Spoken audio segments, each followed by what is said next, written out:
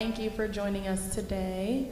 Um, I was wondering, as a first-time home buyer, are there programs that are available to assist with that first-time home buying process? Yes, lots of them.